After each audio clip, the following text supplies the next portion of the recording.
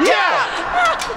Satz, Spiel und Sieg für den Walfanger SCTC. TC.